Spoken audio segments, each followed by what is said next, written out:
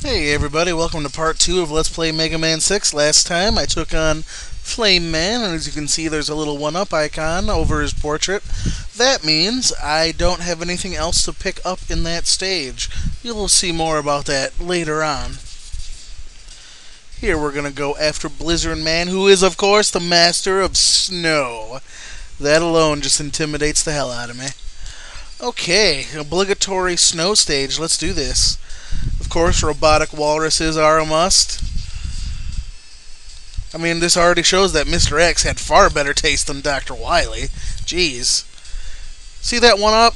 Yeah, I could get it, but I never make the jump back in one piece, so I'm just going to skip it.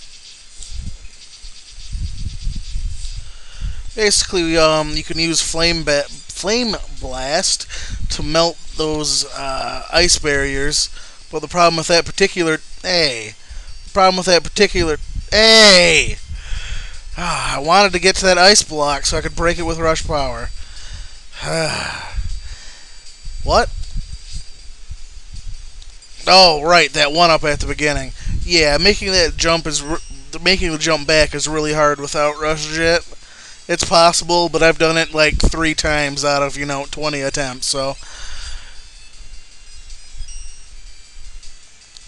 Uh, the Flame Blast is amazing. Um, as you can see, it takes out the shield enemies in one hit instead of a whole bunch of Mega Buster shots, which is amazing.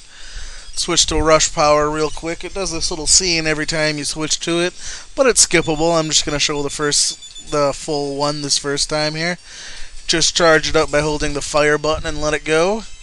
You can break stuff, and surprisingly, this is actually Oh god, stupid. Blah, blah, blah. Rush power is a boss's weakness later on, which is nice. You know, they're actually putting new things to use, which is one thing I like. You know, starting in Mega Man 5, how one of Wily's machines was weak to Super Arrow. I kind of I kind of like when you know they make the extra special items, you know, actually useful in Endgame instead of just being really gimmicky. Hollow Rush Power is really gimmicky. Don't get me wrong. Uh, random side note: If you destroy these ice blocks and then happen to die for some reason, uh, they actually the ice blocks actually stay destroyed. All right, gonna switch for this one. Break that block real quick. Jump back up so we don't hit the spikes. Time a jump down there. Get some life back get yet another E-Tank. This game is not uh, not wanting for extra E-Tanks, so if you ever get into a situation where you're thinking about using one, don't be afraid. There are quite a few of them. Another reason I think Mega Man 6 is one of the easiest games. No, actually, I definitely say it's the easiest of the first six games. Although it's uh, certainly not a bad game. I mean, a lot of the longtime Mega Man fans will debate between this and 5 being the, not the worst, but the least good, we'll say. Uh, I, I still think that's Mega Man 5 myself. Um, basically, because Mega Man 5 didn't do anything new except for the large charge shot and um, raping Rush Coil making it one of the worst, the worst rush adapter ever.